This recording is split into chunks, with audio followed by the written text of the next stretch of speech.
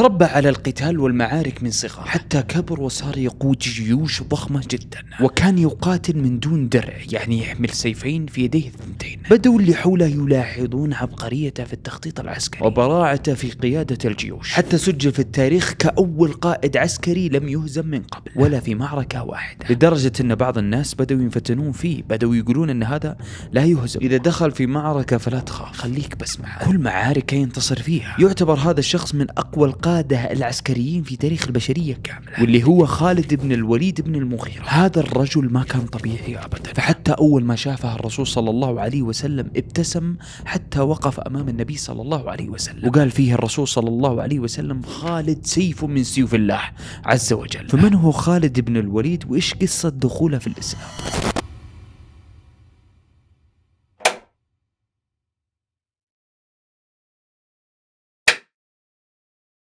السلام عليكم ورحمة الله وبركاته. حياكم الله وبياكم. وجعل الجنة مأوانا ومأواكم ومثوانا ومثواكم يا رب العالمين. قصة اليوم هي فقط عن خالد بن الوليد. بس قبل ما نبدأ لازم نعرف شيء مهم. لازم نرجع وراء إلى ما بعد غزوة الأحزاب. قد قصينا هذه القصة من قبل لكن لازم نراجعها بشكل سريع. في بعد غزوة الأحزاب رجعوا قريش لمكة مهزومين من الله سبحانه وتعالى. قال الله سبحانه وتعالى يا أيها الذين آمنوا اذكروا نعمة الله عليكم إذ جاءتكم جنود فأرسلنا عليهم ريحا وجنودا لم تروها. وكان الله بما تعملون بصيرا. كانوا قريش حاسين بهذا الأمر العجيب اللي حصل له حسوا بأن في شيء جالس يمنعهم خارج هذا الكون. بس الكبر اللي في قلوبهم خلاهم ما يفكرون كثير. بس مو كلهم. فكان عمرو بن العاص وخالد بن الوليد كانوا حاسين بأن في أمر عجيب حصل في غزوة الأحزاب. وأن الأمر مو بسلامات وكذا يعني حصل وخلاص قسلنا ورجعنا. لا الأمر كان خارج عن إرادتنا فعليا. وإن ما رجعنا بإرادتنا إحنا رجعنا مهزوم طبعا كانوا كلهم الاثنين وقتها من المشركين باقي ما أسلم. فأول ما حسوا بهذا الشعور وإنهم انهزموا بقدرة إلهية مو بقدرة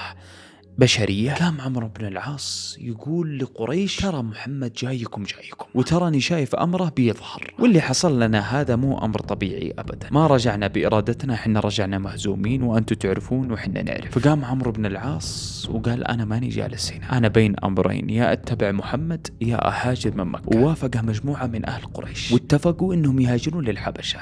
طبيعي ما راح يتبعون محمد. ليش نروح نتبع شخص يعادينه؟ طبعا هذا من منظورهم في ذاك الوقت. بس العجيب إن خالد بن الوليد ما خرج معه. وكان ضد الخروج والهجرة إلى الحبشة. فقرر انه يجلس في مكة بنفس هذا الشعور اللي كان مشمئز. شعور غريب كذا أنت مع الباطل واللي حصل لك كذا أمر عجيب وأنت رجعت وانهزمت. وانخذلت وكذا شعور. عجيب كذا. ما تدري إيش اللي حصل لك في ذيك المعركة؟ فهاجر عمرو بن العاص للحبشة وجلس خالد بن الوليد في مكة. الحين خذ لك شيء تاكله ولا تنسى تتابعني في كل السوشيال ميديا اكتب أنس آكشن وباذن الله العلي العظيم راح أطلع لك. من دون ما نطول بسم الله نبدأ.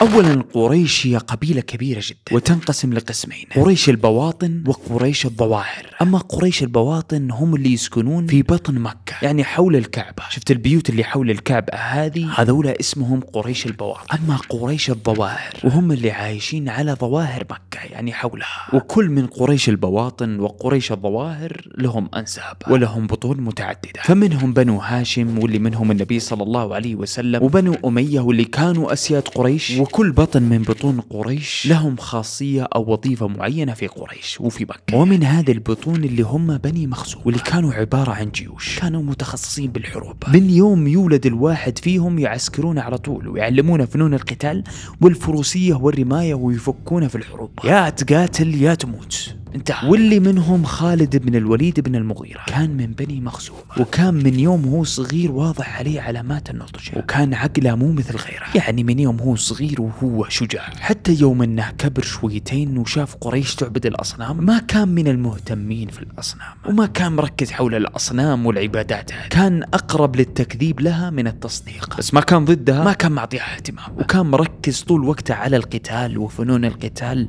والتخطيط العسكري. أنا مبدع الحين خليني هنا خلاص. فكني من الأشياء اللي قاعد تعبدون هذه. فما كان مشغل عقله بالأمور هذه ابدا. والجانب هذا ما كان مشغل نفسه فيه. كان مشغل نفسه في القتال. في يوم ظهر النبي محمد صلى الله عليه وسلم وشاف قومه يعادون محمد. وقف مع قومه. مو من باب إن قومه على صح. ولا إن محمد صلى الله عليه وسلم على خطأ. لا الموضوع مو هنا عنده. الموضوع برضو في عقله كان عسكري. كان سالفة حمية فقط وقبيلتي وأنا معها ما بشغل عقلي في سالفة وين الصح وين الخطأ الحين. من اللي راح ينتصر؟ وأكيد إني بوقف مع قبيلتي يعني. وهذا الأمر زاد بعد وفاة أبوه. الوليد بن المغيرة. وكان أبوه عنده اربعه أولاد. منهم خالد والوليد بن الوليد. طبعا الوليد بن الوليد أسلم من بدري. بس خالد بن الوليد ما كان مقتنع بالإسلام لكنه ما عاد أخوه. مع إن أخوه أسلم لكن ما عاده وكان موضوعه مع محمد فقط. قائد عسكري. كان الجانب القتالي عنده فوق. بس في مواقف حصلت له في حياته خلته يشغل مخه. ويعرف من هو اللي على الصح. فيحكي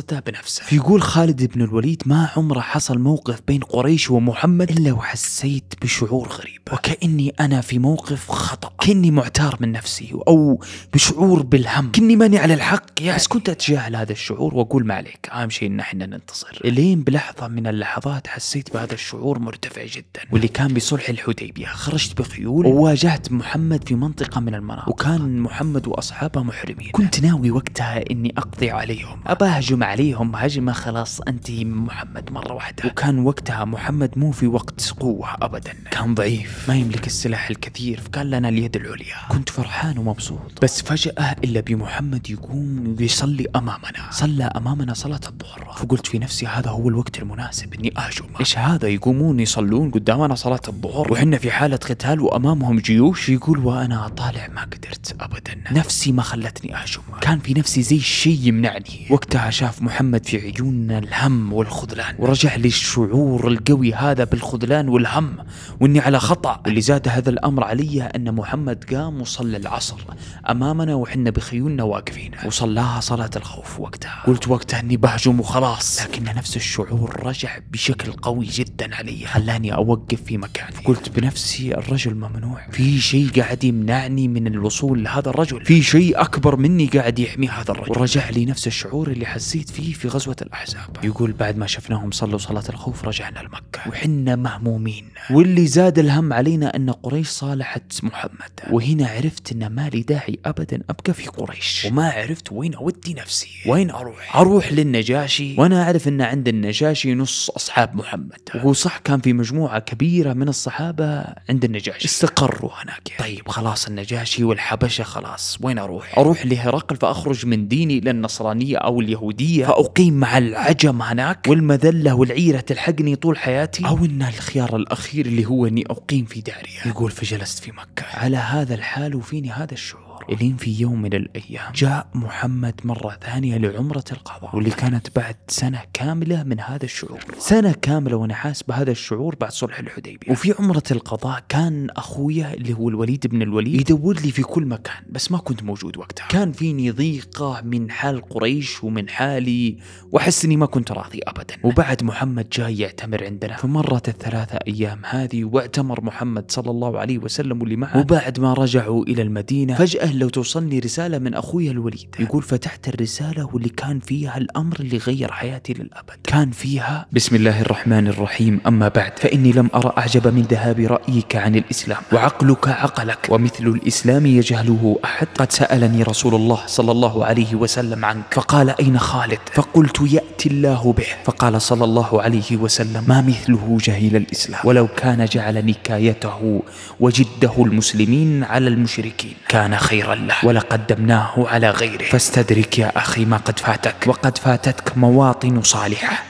يقول بعد هذه الرسالة الجانب الثاني اللي فيني هذا بدأ يشتغل وبديت أستوعب وين خطأي. وعرفت إيش المشاعر اللي كنت أحس فيها في ذيك الفترة كاملة وليش؟ وكأن اللغز اللي في عقلي انحل. فجلست مع نفسي فترة. أفكر بكلام أخويا. وبكلام محمد صلى الله عليه وسلم. وبدت عندي روح الحرب والقتال. روح القتال اللي بداخلي بدأت ترتفع. وبدت الحرب بين عقلي وروحي القتالية. والحمية الجاهلية اللي بداخلي. يقول وأنام ذيك الليلة وعقلي مشغول. أفكر في هذا الأمر. ووقتها حلمت بحلم بأني أنتقل من مكان ضيق جاف إلى مكان واسع وأخضر.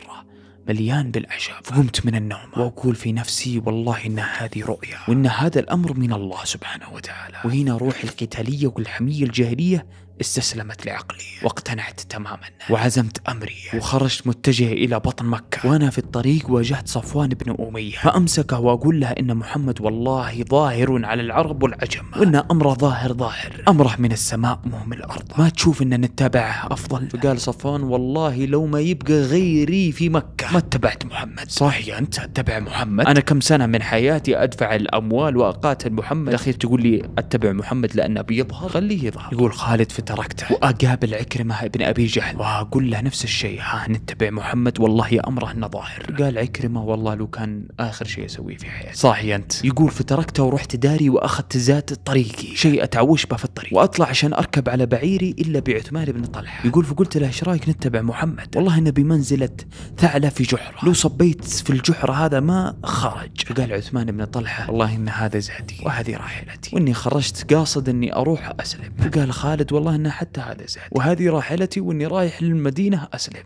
وأبايع وبكل خفية خرجنا من مكة. متوجهين للمدينة. عشان نبايع رسول الله. خلاص. بس وحنا في الطريق. إلا بشخص من كبار قريش. كان بالطريق مسدوح وكأنه نايم. يقول حاولنا نناظر مزبوط إلا والله إن عمرو بن العاص. عمرو بن العاص؟ ما هو في الحبشة. إيش جابه هنا؟ وش اللي ناوي عليه أصلا في طريقة للمدينة؟ سلموا على بعض وكل واحد مخبي في نفسه إسلام. أهلين كيف الحال عمرو؟ كيف الحال خالد؟ أمورك تمام كل شيء تمام. وش فيك في نص طريق المدينة؟ أنت أصلا إيش فيك هنا أصلا؟ أنت كنت في الحبشة. إيش رجعك هنا؟ ولوحدك بعد؟ قال لهم عمرو قولوا لي أقول لكم. أنتوا إيش جابكم هنا؟ يعني واضح. فقالوا تبغى الصدق يا عمرو. والله شفنا محمد قد ظهر أمره على العرب وعلى العجم وإن والله أمره ما هو من الأرض أمره من السماء. أما قريش فهي في مثابة ثعلب في جحر. لو صبيت عليه ماء خرج. قال أنتم بتسلمون يعني؟ قالوا إيه؟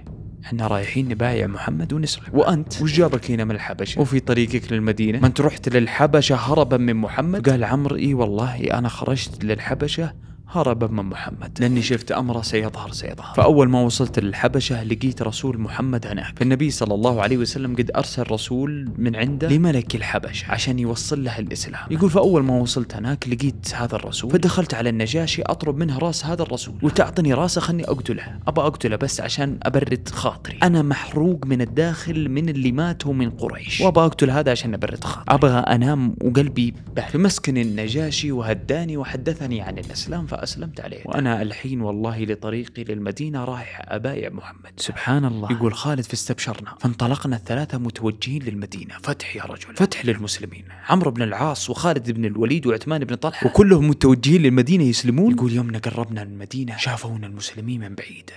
شافوا خالد بن الوليد وعمرو بن العاص. وعثمان بن طلحة هذه الوجوه نشوفها في حرب فقط. وش جابهم الحين؟ فيقول خالد بن الوليد توقفنا على الجنب. في مكان بعيد عن المدينة عشان نتطيب ونغير ملابس السفر ذي ونلبس ملابس طيبة نروح نبايع فيها النبي صلى الله عليه وسلم. ما يصلح ندخل عليه بالملابس هذه. بس إن المسلمين قد وصلوا الخبر للنبي صلى الله عليه وسلم. يقول لبسنا بسرعة وأنزل المدينة. إلا أخوي الوليد يقابلني. وهو مستبشر. ويقول ادخل على النبي. فالنبي صلى الله عليه وسلم فرحان بجيتكم هذه. وكأن النبي صلى الله عليه وسلم عرف. يقول فدخلت على النبي صلى الله عليه وسلم. وأول ما جت عيني بعين النبي صلى الله عليه وسلم ابتسم. يقول فما وقفت ابتسامته لين وقفت أمامه. وسلمت عليه بتحية الإسلام. وقلت بعدها إني أشهد أن لا إله إلا الله وأنك رسول الله. فقال النبي صلى الله عليه وسلم الحمد لله. الذي هداك. قد كنت أرى لك عقلا. رجوت ألا يسلمك إلا إلى خير. يعني كنت أشوفك ذكي جدا وذكائك هذا. كنت أتمنى أن ما يوديك إلا إلى خير. لأن بعض الذكاء يوديك للشر فكثير من العاقلين راحوا إلى الإلحاد. بل وداهم عقلهم إلى الجنون حتى. يقول فقلت يا رسول الله. أن شفت بعينك قد إيش كنت أنا عنيد عن الحق. وكيف حاربتكم بكل جهدي. بل دفعت الأموال والجهد في قتالكم عنادا مني. يا رسول الله. إدع الله يغفرها لي. فقال النبي صلى الله عليه وسلم الإسلام يجب ما كان قبله. يعني بإسلام هذا الله سبحانه وتعالى راح يغفر له كل ذنوبه أيام الجاهلية. وأيام كان مشرك. فالإسلام يمحي ما كان قبله من الذنوب. من بعدها قال اللهم اغفر لخالد بن الوليد. كل ما أوضع فيه من صد عن سبيل الله.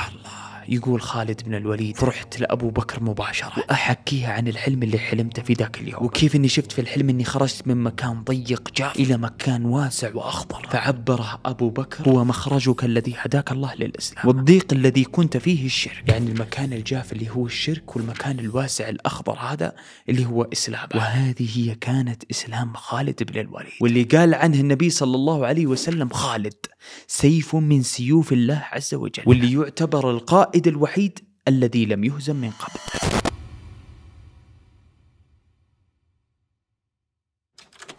إلين هنا وصلنا لنهاية قصة اليوم. أتمنى أن القصة نالت على الإعجاب أنا ماني عارف القصة هذه وين راح تنزل في أي سلسلة لكن على الأرجح أنها راح تكون في سيرة النبي صلى الله عليه وسلم. إذا وصلت لين هنا لا تنسى تصلي على النبي صلى الله عليه وسلم وتروح تشوف باقي السلاسل.